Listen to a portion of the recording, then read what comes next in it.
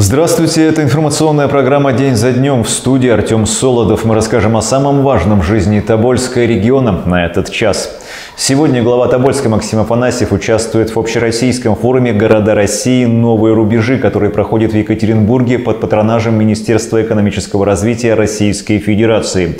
В городе имеются хорошие наработки в планировании туристического каркаса. Городоначальник выступит на сессии «Туризм как драйвер развития», расскажет о инвестиционных кейсах, уже реализованных, так и тех, которые находятся в работе и в планах.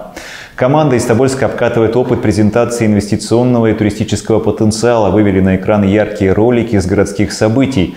Улучшение качества городской среды, развитие моногородов, темы обсуждения которых позволяют узнать лучшие практики.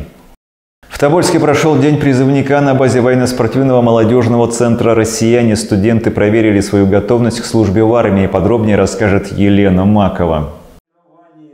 День призывника для первокурсников Тобольского многопрофильного техникума стал событием. Совсем скоро они вступят в ряды российской армии. Уже сейчас многие понимают, что срочная служба – это не только обязанность, закрепленная в законе, но и патриотический долг каждого гражданина. К армии отношусь хорошо, хотелось бы сходить служить, отдать долг Родине. Этот э, день, он э, каким-то образом э, дает возможность молодому человеку почувствовать себя тем, что он будет когда-то солдатом, что есть, появляется какая-то новая ответственность у него э, и, наверное, за будущую службу в армии, за подготовку к этой службе. Сейчас этим ребятам по 16 лет. В феврале 2024 года они встанут на воинский учет. Я вам скажу, что уже многие ребята подходят ко мне, здороваются там и представляются даже в плане того, что мы с ними сталкивались на всевозможных мероприятиях. Вот один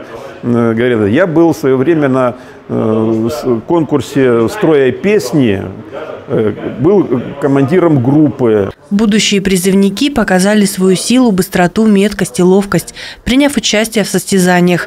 В военно-спортивном молодежном центре «Россияне» студенты СУЗов и ВУЗов раз в год проходят начальную военную подготовку. В этот раз команды прошли три этапа. Ребята на скорость задевали противогаз, подтягивались на высокой перекладине.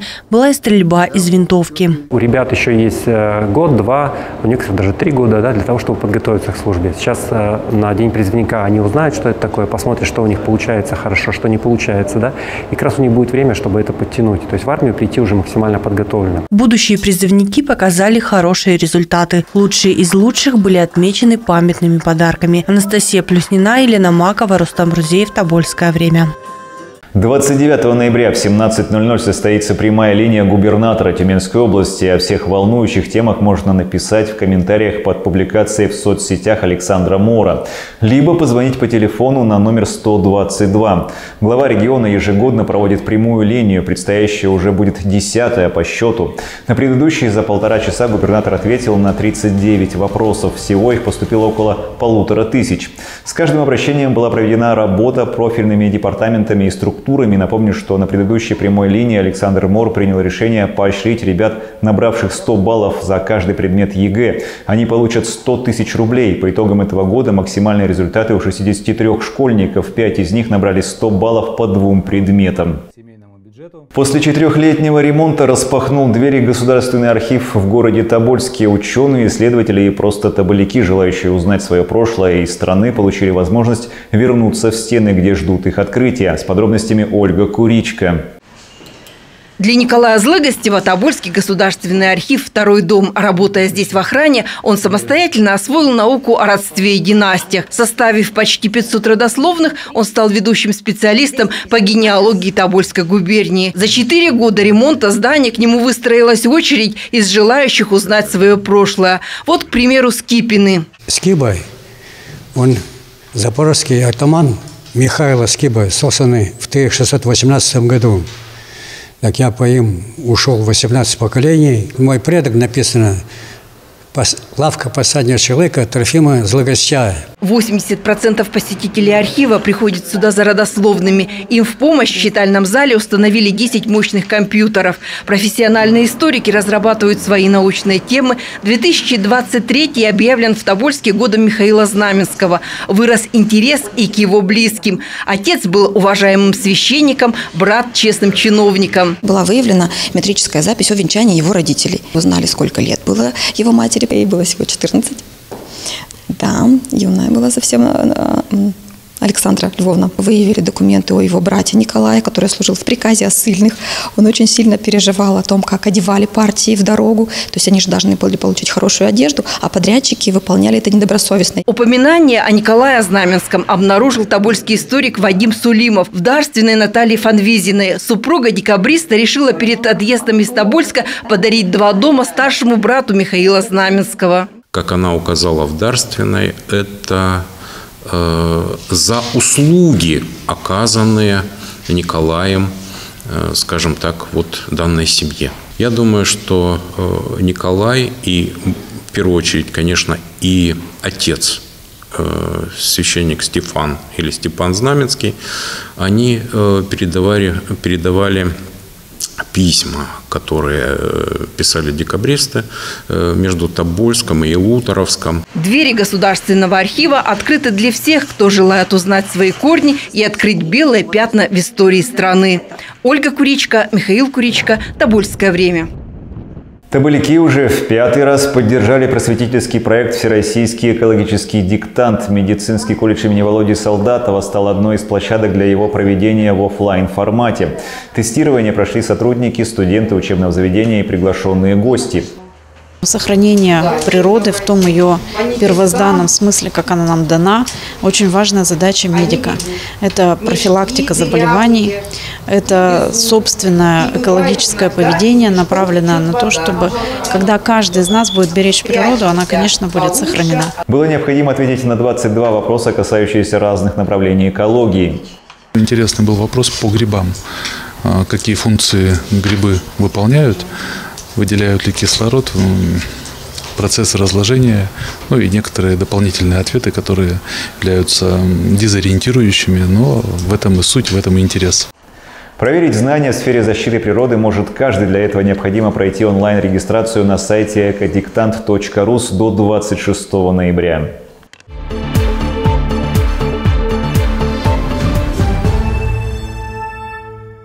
Дождливая погода приносит много слякоти на дороге города. Коммунальные службы борются с грязью. Для этого пробуют новый формат содержания дорог в межсезонье, сообщил глава Тобольска Максим Афанасьев в своем телеграм-канале. Коммунальщики смывают грязь в ливневке, вода на проезжей части не застаивается, высыхает. Как следствие, не создается лишний гололед. Для проведения такой уборки используют две поливомоечные машины и три подметальные. После этого на газели вымывают край тротуара, бордюрную зону, очищают и промывают дождевые приемные решетки. Добавлю, что синоптики прогнозируют мокрый снег с дождем до конца рабочей недели. При этом на следующее не ожидается крепких морозов. Температура будет варьироваться от минус 5 до минус 10 градусов.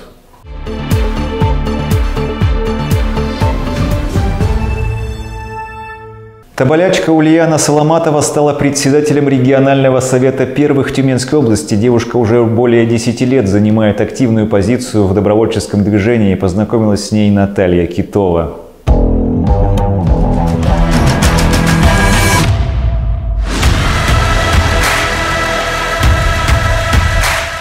Тоболячка Ульяна Соломатова рано проявила лидерские способности. В 13 лет девушка начала заниматься волонтерской деятельностью, ездить на слеты добровольцев и продвигать добровольчество в Тобольске. Два года назад она вступила в российское движение школьников, а затем в Совет и движение первых.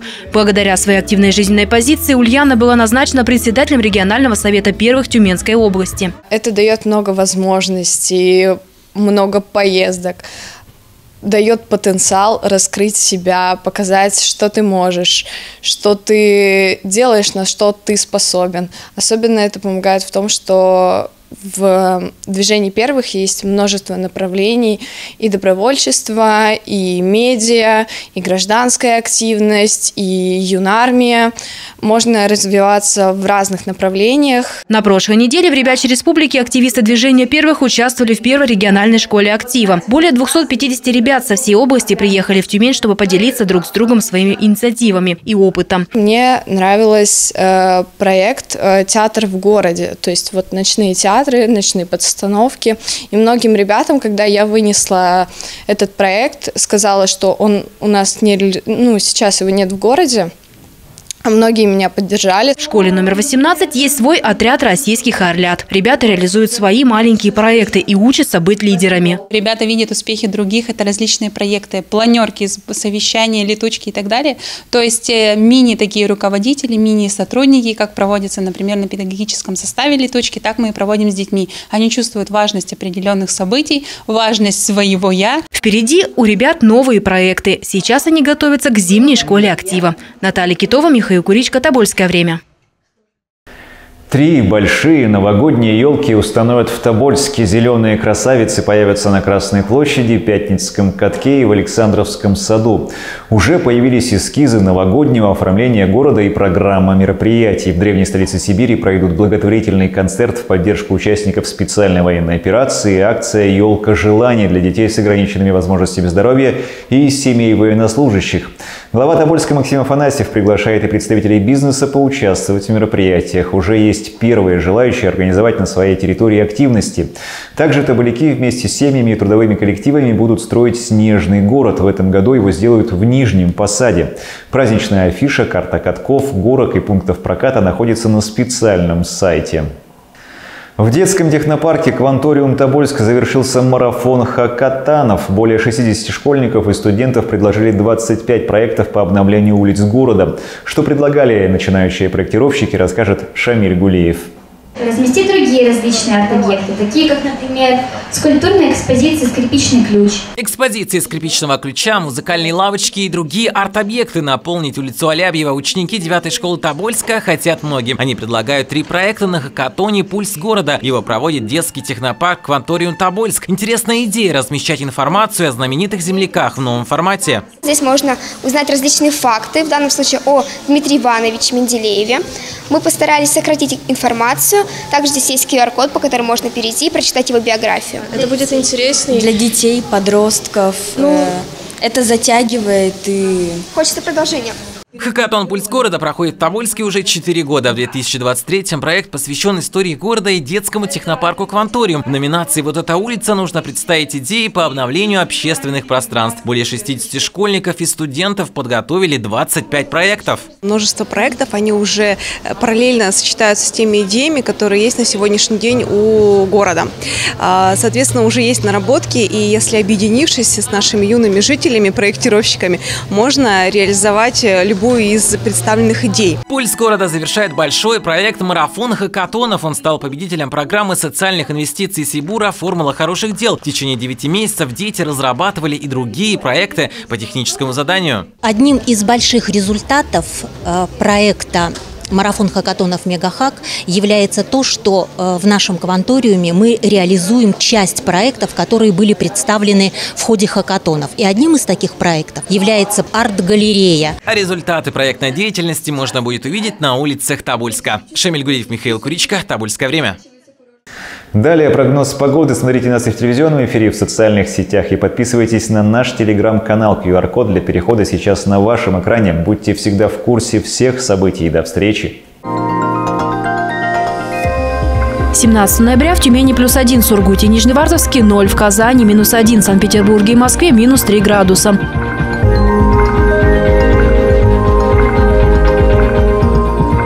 Тобольский снег, утро минус один, днем до нуля, ночью минус 5 градусов, ветер юго-западный 2 метра в секунду.